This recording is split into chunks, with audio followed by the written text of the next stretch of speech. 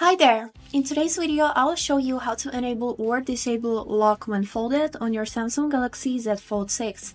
Let's get started. As a first step, we would need to go to Settings.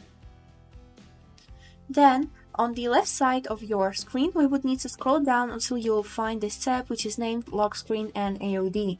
Here, click on Secure Lock Settings on the right side and enter your current PIN code and then continue. Here, you'd be able to see the setting which is named Lock When Folded. That means if you're doing something on your phone and then fold it, it will require PIN code to unlock it on the cover screen. So right here, you'll be able to enable or disable this function by clicking on this slider.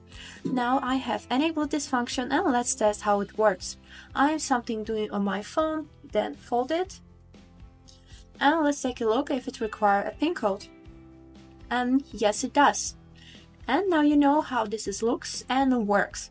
That was all for today. I hope this video was helpful for you and thank you so much for watching.